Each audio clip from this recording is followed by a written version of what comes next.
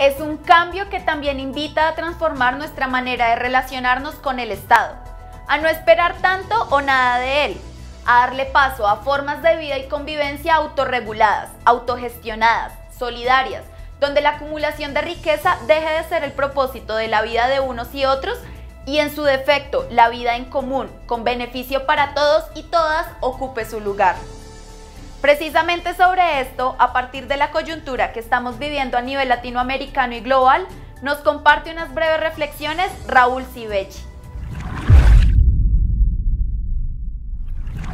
Buenas tardes, buenas noches a este informativo de Desde Abajo, según el lugar donde estén. Estamos viviendo momentos muy complejos en América Latina.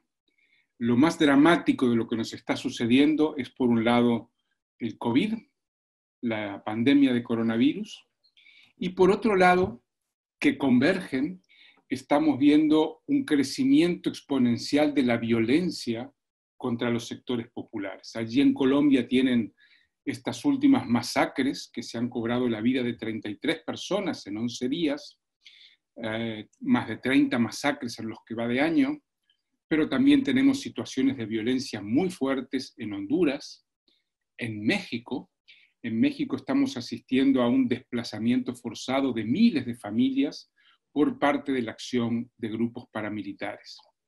Y en el resto de América Latina sucede algo similar, ¿verdad? Violencia contra los pueblos negros, contra los pueblos indígenas, contra los sectores populares, eh, rurales y urbanos. Y yo creo que es momento de reflexionar un poco más a fondo. Encuentro que hay dos razones básicas para esta despliegue exponencial de la violencia. Una es el modelo del cual ya hemos hablado y del cual se está hablando mucho en América Latina últimamente. El modelo neoliberal extractivista, ¿verdad? La exportación masiva de commodities, que no generan más igualdad, sino más desigualdad, que no generan integración de los sectores jóvenes en la sociedad, sino marginalización, que no eh, generan la posibilidad de un acceso a un empleo en condiciones, sino más precarización del trabajo. Entonces, esa situación ha venido deteriorando la calidad de nuestras sociedades. La calidad democrática, que nunca fue muy alta en América Latina, pero a su vez el diálogo entre generaciones, entre géneros, entre colores de piel y por supuesto la interacción con el Estado se ha vuelto cada vez más vertical, más agresiva, más opresiva. Esta es la razón de fondo, digamos, la causa estructural de esta situación. Pero además tenemos la coyuntural, que tiene también dos vertientes. Por un lado, asistimos a una polarización creciente en el mundo, a una tendencia a la guerra desatada por parte de dos grandes potencias, como son Estados Unidos, que es la potencia agresora, y China, que busca ascender al rango que considera le corresponde en el escenario global, por eh, ser la segunda potencia económica del mundo y tener un desarrollo creciente. Eh, esta situación de conflicto internacional exacerba las contradicciones no solo entre estas dos potencias, sino en todo el planeta. Y por otro lado, la pandemia de coronavirus, que como hemos hablado en otros casos, este, acelera las tendencias que ya se venían registrando en nuestra sociedad.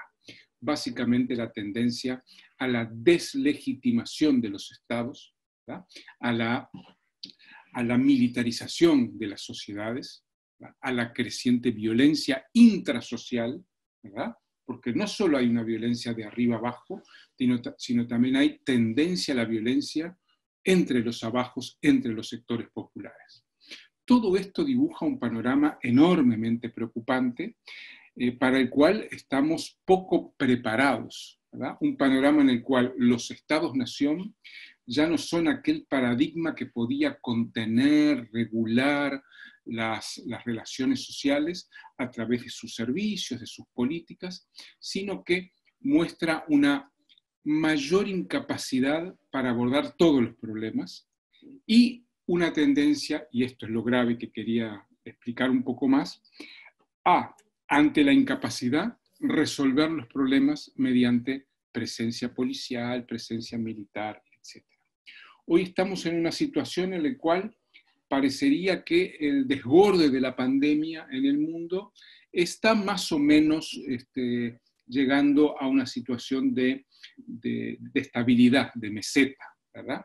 Pero esa meseta implica que no desaparece la pandemia, que la pandemia sigue siendo muy grave y tiende a mantener el desborde de los servicios sanitarios, pero además nos está informando que en esta meseta, que algunos le llaman la nueva normalidad, estamos eh, tendiendo a cristalizar una sociedad vertical, militarizada, opresiva, tremendamente injusta con los sectores populares. Los datos que nos van llegando de diferentes países del mundo indican que la desigualdad en estos últimos meses ha crecido.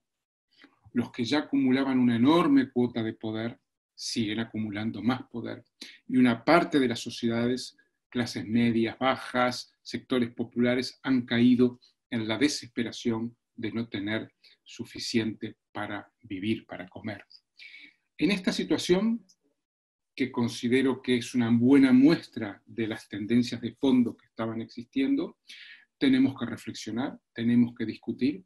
Si vamos a seguir con las viejas formas de acción centradas en la demanda, en la exigencia al Estado para que cumpla su tarea, que es salvaguardar la vida en la sociedad civil, o vamos a empezar y a profundizar, como ya están haciendo unos cuantos colectivos humanos, a garantizar nuestra autonomía, nuestra sobrevivencia, nuestra capacidad de resolver nuestros problemas por nosotros mismos.